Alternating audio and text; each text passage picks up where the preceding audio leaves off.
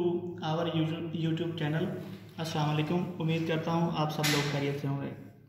तो काफ़ी लोगों की, दोस्तों की डिमांड आई कि रिबॉन्ड हैमर के बारे में हमें एक वीडियो जो है ना वो बना के दें। तो मैं दोस्तों को बताता चलूँ कि ये हमारे पास रिबॉन्ड हैमर है, ठीक है? तो ये इसका प्लग है। ये इसकी वैल्यूज़ लिखी हुई हैं और ये इसका प्लंजर है। ठीक है? ये इसका कैलेंडर है। तो और इसके ऊपर ये जो ग्राफ है, इसमें हम वैल्यूज़ पुट करके इसकी स्ट्रेंथ मालूम कर सकते हैं। तो आ जाए हम, चलते हैं अपनी कैलकुलेशन की तरफ़।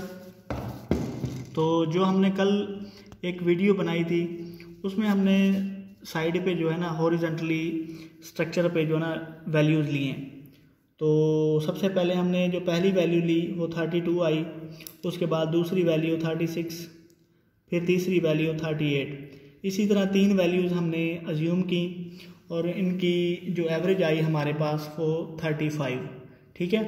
तो यहाँ तक आपको समझ आ गई होगी।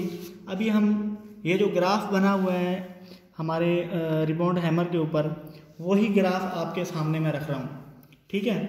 तो ये देख लें आप ये वर्टिकल है, जो हमारे पास ए कंसीडर किया गया है। और ये बी हमारे पास जो है ना, वो हॉरिजेंटल कंसीडर किया गया है। तो आ जाए हम, ये इस साइड पे आप देखें ज़रा कि ये हमारे पास पी एस आई लिखा हुआ है, ठीक है? तो ये पंद्रह सौ पी एस आई दो हज़ार, तीन हज़ार, चार हज़ार, पाँच हज़ार छः हज़ार, इसी तरह ये हमारे पास पी एस आई है। और ये हमारे पास है रिबाउंड की वैल्यूज़ बीस, पच्चीस तीस, पैंतीस, चालीस, पैंतालीस, पचास। और ये देखें, उस साइड पे आपको दिखाया हमने पीएसआई इस साइड पे हमने मेगा पास्कल दिखाया। देखें आप ये सामने आपको मेगा पास्कल नज़र आ रहा है। Ten point three thirteen point eight twenty point seven twenty seven point six thirty thirty four point five इसी तरह से ये सारी वैल्यूज़ लिखी हुई हैं। तो अभी हमारे पास जो एवरेज आई है, वो है थर्टी फाइव तो ये हमारे पास जो वैल्यूज़ हैं, ये देख लें आप, ये जो वर्टिकल है, वो ए है और जो हमने स्ट्रक्चर पे जो वैल्यूज़ लिए हैं, वो हॉरिजेंटली हैं।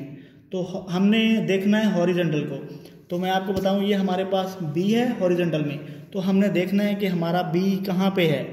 तो हमारी जो बी की लिमिट है ग्राफ में दी हुई, वो यहाँ से लेकर यहाँ तक आ रही हैं। ठीक है, ये गौर से देख लें आप।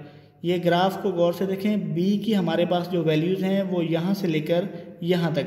तो अभी हमने देखा है हमारे पास जो वैल्यू आई है वो हमारी किस ग्राफ में जाती है?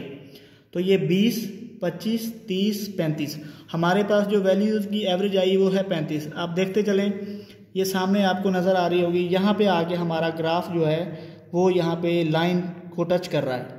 ठीक है? तो इसी के सामने हम इसी पे ये पॉइंट लगाएँगे। तो इसी के सामने हमने देखा है कि ये हमारे पास, ये ऊपर पैंतालीस की आ रही है पीएसआई की लाइन। हमारे पास जो ग्राफ टच कर रहा है वो है चवालीस पे। तो हम इसे कह सकते हैं कि जो हमारे पास कंक्रीट की स्ट्रेंथ आई है, वो है पीएसआई वो है चवालीस और जो मेगा पास्कल में अगर हाँ आप देखना चाहते हैं, आपको रीडिंग की ज़रूरत है मेगा पास्कल में वो है थर्टी वन पॉइंट ज़ीरो। ठीक है? तो अभी आपको इस पूरी वीडियो की हमने प्रैक्टिकल भी बताया और कैलकुलेट करके भी हमने बताया। तो उम्मीद करता हूँ ये आपको वीडियो अच्छी लगी होगी और आपको मुकम्मल तौर पे समझ भी आई होगी। अगर किसी दोस्त का कोई क्वेश्चन हो तो वो कमेंट बॉक्स में लिख सकता है। तो इसी से मुझे दें इजाज़त। हमारे चैनल को सब्सक्राइब करें लाइक और शेयर करें। Thank you very much